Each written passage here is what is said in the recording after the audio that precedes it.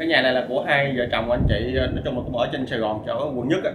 thì uh, mới đầu là tính xây cái nhà xây cái nhà là xuống đây để uh, ở đó. Để cuối tuần vào đây là uh, chơi hoặc nhậu nhẹt với bạn bè thôi. Mà uh, khi mà nói chung là tài chính nó có một cái số trục chặt đó cho nên là mới quyết định bán lại. Rồi nhưng mà gì cao thì lúc nãy là nhân có đi một vòng cái nhà tham quan rồi. Thì xây là nói chung là rất là ok nó không có bị phạm không phải hoặc là ờ, không có một cái gì trục chặt hết. Thì ở đây là phòng khách của mình. Phòng khách thì rất là lớn. À, ngoài ra nhớ lại là tức là cái nhà này của mình là xây thì cũng cũng mấy tháng rồi nhưng mà chưa có ở chưa có ở luôn như cái này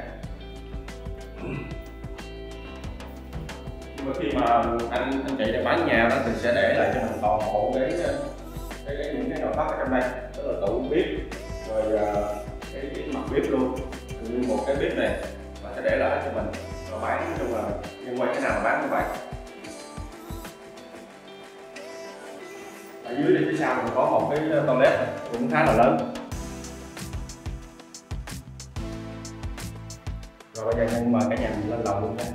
Như lầu thì anh ờ, anh chị làm đá hoa cương màu đen thì mình cũng rất là ờ, tay cầm một lỗ nhìn rất là sang trọng.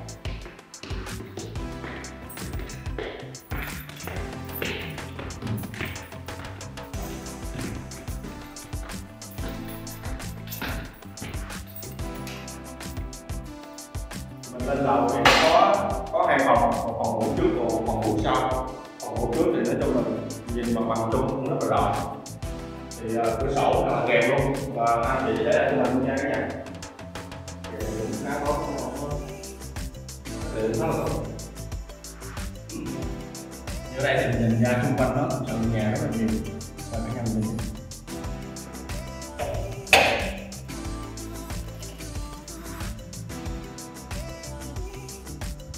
nhà rất là đông. Mở cửa sổ cũng rất là mát.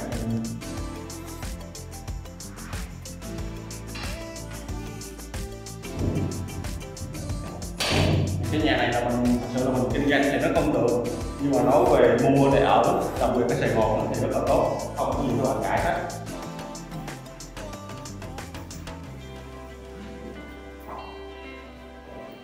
Phía sau thì mình có phòng ngủ nhỏ. Phòng ngủ nhỏ nói chung khá là ổn. Thì đây có làm sẵn mấy cái lỗ mới làm được luôn lỗ được.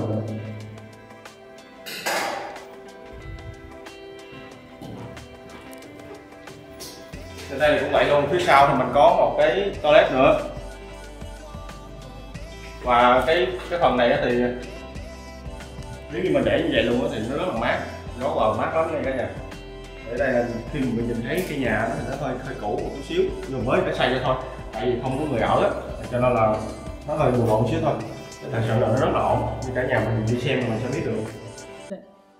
Rồi, ở đây là cái sổ hồng của mình nha cả nhà. Thì vì ở đây là mình thấy là đất lúa. Đầu tiên đất lúa nha. Nhưng mà ở đây thì đã lên ờ, hiện tại là căn nhà của mình là đã lên chuyển sang đất trồng cây lâu năm rồi. Thì ờ, cái đất ở Bình Chánh này thì nó nó nó cũng nói chung cũng hơi rối một xíu thì nhân cũng không có rành lắm đâu. Nhân biết thế nào thì chia sẻ như vậy thôi. Còn à, nếu như ai mình gần cái khu vực này á, thì à, nhân nói là mình sẽ hiểu liền. Thì đầu tiên đó là nó là đất lúa. Đất lúa xong á thì mới chuyển lên cây lâu năm. Và từ cây lâu năm á, thì mình mới chuyển lên à, thổ cư một lần nữa. Thì nó mất ba lần ba ba giai đoạn như vậy. Và khi mà chuyển lên thổ cư á thì ở đây mình sẽ đóng đóng thuế thêm khoảng chừng à, vài chục triệu nữa thì cái này nếu như mà ai mà làm đất ở ở Bình Chánh thì mình sẽ, hiểu được những đề này. Thì đầu tiên đó là khi mà mình nói cái diện tích 4 x 14 một trệt một lầu cái giá tỷ 8 thì nó quá rẻ. Đó nó rất là ok. Nhưng mà nên, nên giải thích rõ cho mình luôn là ở đây là mình đang còn là đất đất trồng cây lâu năm. Đó. và về thì nó rơi vào tầm khoảng từ một năm tới hai năm nữa là mình có thể lên thổ cư được. Và ở đây là hiện tại mình đúng là mình có số nhà viện rồi nhưng mà mình chưa có lên thổ cư được thôi nha cả nhà thì rơi vào khoảng chừng trăm một trăm á trăm tới hai năm mình lên thổ và lúc đó mình sẽ đóng thuế lên trên lúc vài chục triệu nữa đó thì cái phí đó thì, anh chị ở đây thì ví dụ như khi mình mua thì nhân nhờ với anh chị là giải thích cho mình.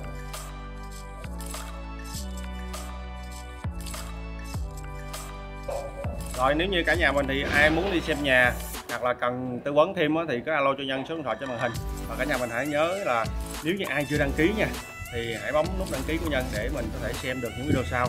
Biết đâu là à, có một cái lô đất hoặc là căn nhà đó mà nó vừa với tài chính và hợp với vị trí mình cần thì cứ alo cho nhân. Rồi nhân xin chào.